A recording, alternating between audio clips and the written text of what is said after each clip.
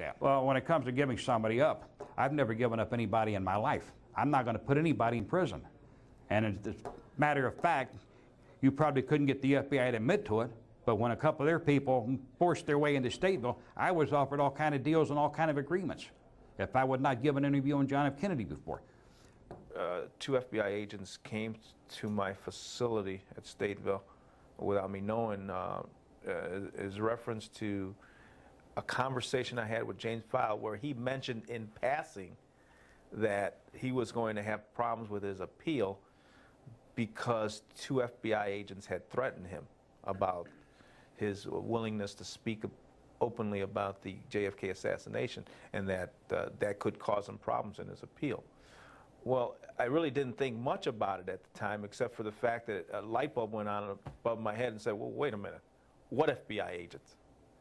And he said, and he swore up and down there were FBI agents that came to visit him. Well, I thought I finally, ah, I got him now. I've got him in a lie. Because I would have been the first to know, or the second after the gatehouse officer. I should have been the second to know that there were FBI agents at my gatehouse, let alone inside my facility. Uh, comes to come to find out that yeah, in fact, they they uh, they interviewed him. How did I find out? Well, uh, while I was researching the possibility of FBI agents entering my facility without me knowing, I got a call from one of them who admitted to me, yeah, he came to see Files on such and such a date. So I backtracked it and found the entry finally in the gatehouse, where they had in fact come in and interviewed James Files.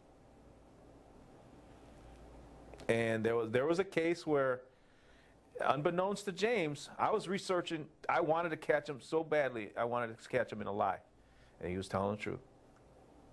Are you remorseful about shooting Kennedy? For many years, no, I wasn't. But as the time goes by, I'm not saying remorseful for shooting Kennedy. Maybe I'm more remorseful for how it affected this country and for the things it's done. Maybe John F. Kennedy did do some good things for this country. I'm not really sure. But I got a lot of remorse for a lot of things that I've done.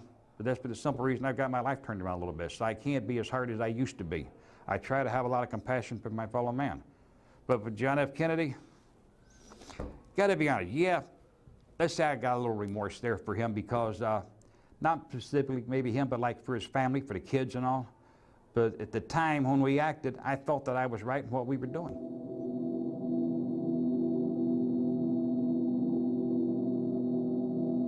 I looked him in the face and said, James, if what you're saying is true, do you realize that you changed history? What was the thing on your mind? What was the utmost number one thing on your mind after you fired that shot? You know what his answer was? He goes to me, Warden, I was kind of pissed because I missed my target by a fraction of a, an inch. He didn't smile. He didn't gloat. He didn't. He answered my question with a lot less emotion and passion than I asked it, which struck me.